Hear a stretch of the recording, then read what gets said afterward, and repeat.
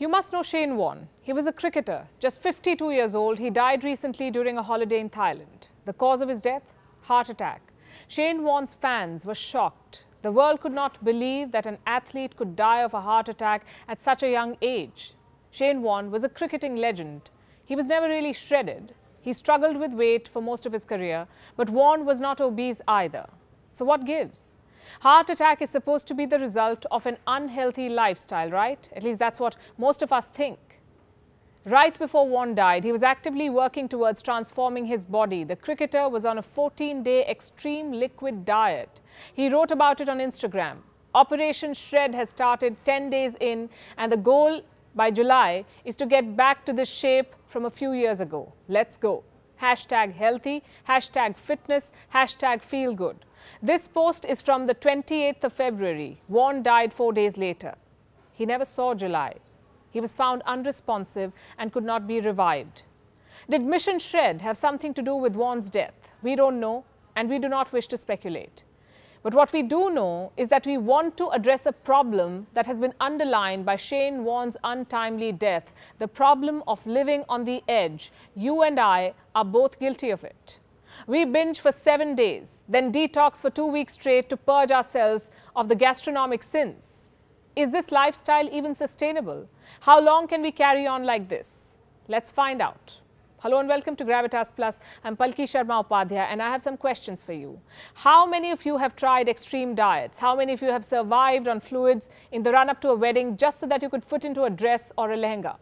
How many of you have replaced breakfast with lemon juice, lunch with buttermilk and dinner with soup? It's normal these days. It's part of our diet culture. It's the same culture that allows us to grab a drink the moment we land at a holiday destination and drink just juice for seven straight days once we are back from it. Hashtag detox, hashtag cleansing, hashtag flushing out toxins, hashtag shedding the holiday weight. Think about it. Most of us today are either on an extreme diet or we are quote unquote cheating. There is never a balance, just extremes fanned by the internet. It does not tell us that this lifestyle is deadly. Let's go back to Shane Warne. Here's what his long term manager revealed it was a bit of all or nothing. It was either white buns with butter and lasagna stuffed in the middle, or he would be having black and green juices. Shane Warne was a heavy smoker. He was known for his love for baked beans, beer, and cigarettes. Warne's family said he would regularly go on 30 day fasting tea diets and cleanse diets. The cricketer once mentioned he has tried traditional Chinese medicine for weight loss. Right before his death, Warne had completed a 14 day extreme liquid diet. Basically, Shane Warne was one of us. He believed that the teas and herbal drinks would do him good. They would transform him, help him lose weight, become healthy. Isn't that why most of us take up these extreme diets? We blend a bowl full of spinach and celery every morning and pat our back for starting our day with green juice. No one tells us that these juices are often high in oxalate, that drinking large quantities of spinach or beet juice can increase our risk of kidney problems. Yes, they may help us shed some pounds, but in the long term, they will take a toll on our bodies. No one tells us that a lot of these bottled diet juices may not be pasteurized or treated to kill harmful bacteria. We are told to drink laxatives, numerous glasses of lemon juice, prune juice. No one tells us that too much laxative can result in severe diarrhea or electrolyte imbalance. That's the thing about extreme diets. They're often falsely advertised. The research they cite often have a small sample size or may not be peer reviewed. No doctor will ever advise you to live on just juice that's unless you're recovering from a surgery. So why on earth do we subject ourselves to such extreme diets? We starve ourselves, fast for hours, resist cravings, survive on just vegetables, fruits, water, herbs or tea. Why? Actually, I'd like to answer that. Our generation loves instant results and anything that is insta approved. Extreme diets are both. They get the needle down on our weighing machine and make for an attractive Instagram post. There's a bonus. Extreme diets fit perfectly into our extreme lifestyles. We don't mind sipping on juices for an entire week if that allows us to binge through the weekend or fit into a dream dress, look fabulous in beachwear, and get that perfect photo for the gram. But here's the problem. Extreme diets are not hashtag healthy. For starters, they weaken your immune system. Most crash diets recommend cutting down on fatty food. Your body then struggles to absorb fat soluble vitamins. I'm talking about vitamin A, D, E, or K. They're needed to support our immune system. Without them, you're more likely to fall sick, which means the wedding you dieted so hard for could be spent recovering under covers. Then there are some diets that flood your body with fats. Have you heard about the keto diet? You have to be living under a rock if you haven't. Keto is a fat rich diet. Basically, a person is supposed to consume around 80% fat, 10% carbs, and 10% protein. The idea is to deprive your body of glucose. What is glucose? It's the main source of energy for your body cells. What happens when the body does not get glucose? It leans on an alternative fuel called ketones. Glucose is obtained from carbs, ketones from fats. But the problem with too much ketones is that it often results in kidney or liver problems. These diets are extreme. Either there is no fat intake or a fat overdose. What happens to nutritional balance then? Extreme diets do not give your body the nutrition it needs. It deprives you of essential vitamins and fibers. Extreme diets or crash diets can trigger heart problems. Very low calorie diets can strain the heart. If you have underlying heart problems, a very low calorie diet can make the condition worse.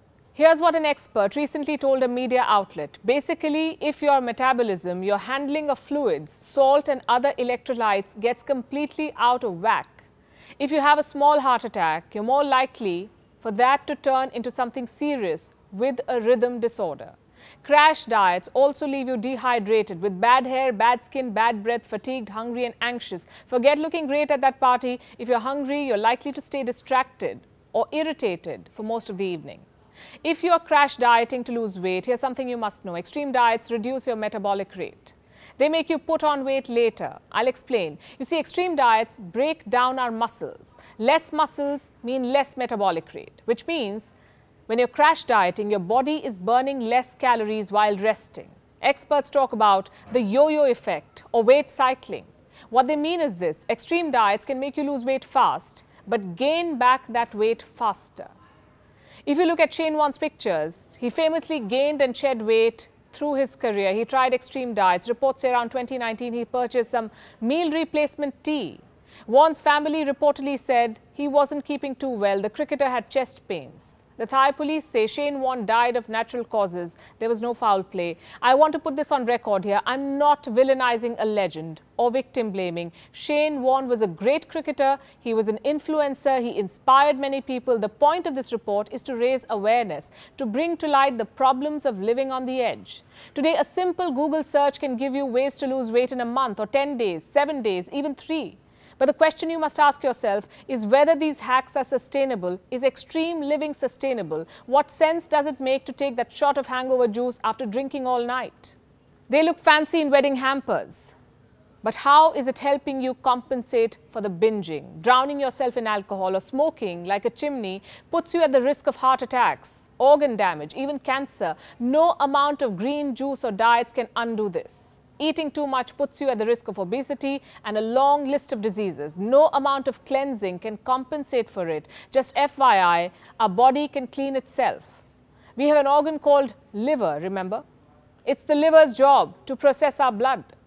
Our body also cleanses itself through urine, sweat, excretion. Treat your body well and allow it to do its job. Don't torture it with extreme diets. They peak and wane rapidly. One day, the world is talking about keto diet. The next day, it's intermittent fasting. The day after, the world has moved on to a new diet. One day, kale is the secret to weight loss. The next day, it's celery. The day after, the world has discovered another exotic drink. Drop the glass, pick a healthy lifestyle instead, reduce alcohol intake, say no to smoking or sugary and processed foods, eat healthy fats, reduce stress and get enough exercise. Fitness is a steady and prolonged approach. Embrace balance, not extreme.